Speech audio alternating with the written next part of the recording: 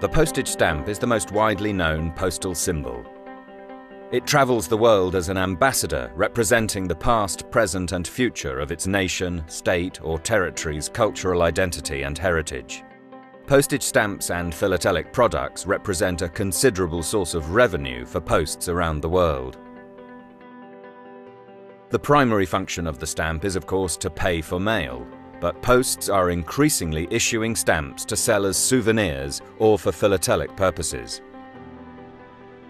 Today, the stamp generates a $27.7 billion annual turnover for posts.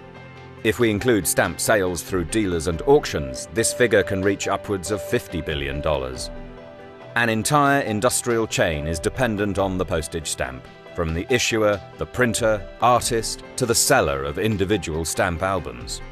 Innovation is a must to attract new customers and satisfy philatelists.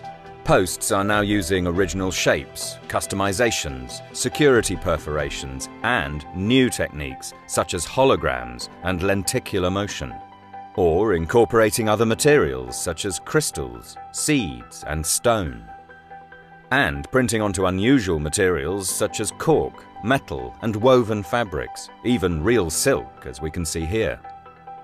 This remarkable stamp was printed onto a specially prepared silk, and its counterpart, which we will see later on, was gold foil blocked to produce a collection of two wonderful stamps with a self-adhesive backing. Like all stamps, the story really begins in the repro department of the stamp printer, where skilled artists prepare the artwork for print using specialist equipment and software. Our stamp then begins the next stage of its journey. The artwork is electronically transferred to the printing plates, with the design being reproduced onto four metal plates. This work, which traditionally involved baths of chemicals, darkrooms and large pieces of photographic film, is now carried out using the very latest straight-to-plate technology and daylight plate-making machines. The plates are attached to a sheet-fed, offset litho press and the ink added to the separate colour stations of the press. A pallet of silk is loaded and the press can begin rolling. The sheets are printed in one operation, with each colour laid down in turn as they pass through the press. The first few sheets are carefully inspected before subtle adjustments are made via the touchscreen and control panel. Meanwhile, metal blocks are being prepared. The blocks, or dies, are engineered to suit each stamp or stamp sheet. The metal pins inserted into the pre-drilled holes will eventually create what we know as perforations. The silk stamp's counterpart, a gold foiled stamp, is also about to go through its finishing touches. The addition of fine real gold foil detail is the crowning glory and gives the stamp extra depth as well as enhancing its appeal to the collector. Solid brass dies with hand-finished designs engraved on their surfaces are secured to a metal plate that is pushed into position and meticulously aligned with a perfectly matched reverse impression. As the printed sheets are fed into the foil blocking press, the dies are brought together and sandwich the sheet momentarily along with a thin metal foil.